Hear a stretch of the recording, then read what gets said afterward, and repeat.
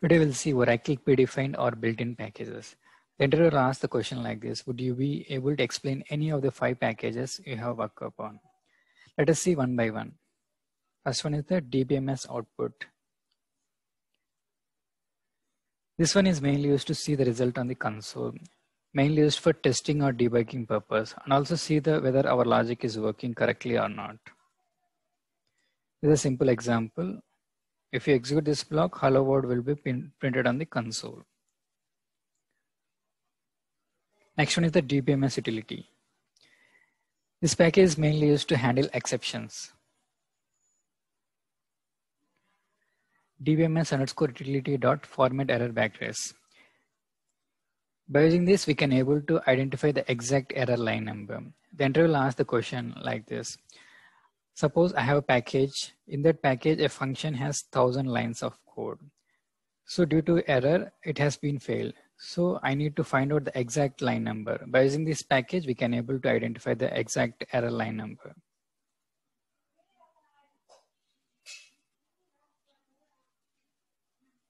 This simple example to understand dbms underscore utility dot format error backtrace.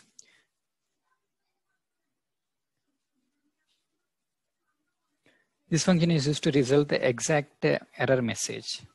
Like complete information can be used by using this format error st stack.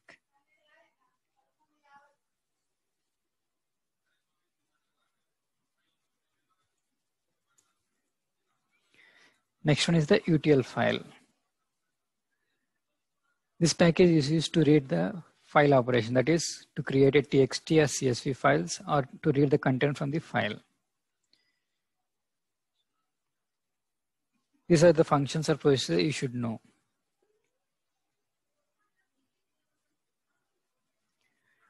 If you execute this block, uh, if a CSV file will be created, what we need to do is that uh, we need to pass the directory name and file name and the content, what the content we need to print in that file name. So if you execute this block, PLSQL developer will be printed on the printed in the file name .txt in the particular directory where we have mentioned that uh, path. Next one is the DBMS MView. This one is used to refresh the materialized view. This is a simple example, like we need to pass the materialized view so that the base table data will be refreshed into the materialized view. Next is the DBMS scheduler. This package is used for uh, scheduling the functions or procedures. Like if you want to if you want to schedule anything automatically without any manual intervention at a particular time, by using this package, we can able to achieve. Let us see a sample example.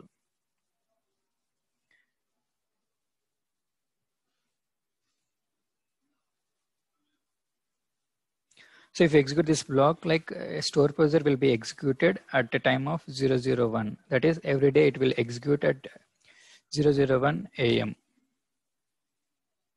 Just we need to process the procedure name and the time when to start and what is the frequency, like it's a daily or monthly or yearly.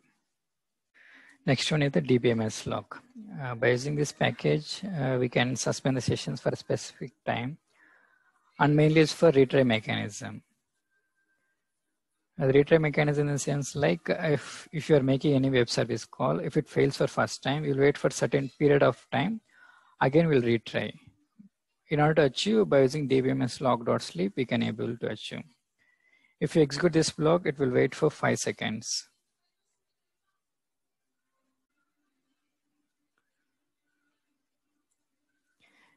dbms random dot value by using this function, we can able to pick a random number from a given range of numbers and we can able to generate OTP. And this logic can be used for scratch card and cashback coupons. Let us see a simple example. So suppose we'll get uh, like uh, up to 10, 10 rupees cashback. We need to pass the parameters like 1 and 10. So we'll get a certain amount between the range of 1 and 10. Next one the string. By using this function, we can able to generate random strings and CAPTCHA. This is a simple example. A complete video is made on DBMS random package. If you want to go through this, link is provided in the description section. Next one is the dbms underscore metadata dot get DDL. By using this package, we can able to get the source code of any function or procedure or any table. This is the syntax. Just we need to pass the table, the table name and the schema name. If you want the package name, we need to re replace table with package and uh, tab, tab name with package name and the schema name. The source codes can source code can be easily achieved by using this package.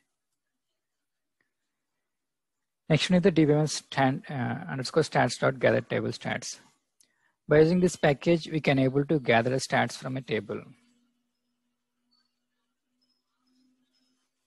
We need to pass the table owner and table name in it. This is the query which is used to get the when the table has gathered the stats and uh, any st stale stats are available on it. If stats are taken older, then we need to execute this block so that fresh, fresh gather stats will be available on this table. Upcoming video would be like uh, delete versus truncate. We'll see the basic and advanced differences and also we'll see what is high watermark. If you like the content, subscribe and share the channel. Thank you for watching.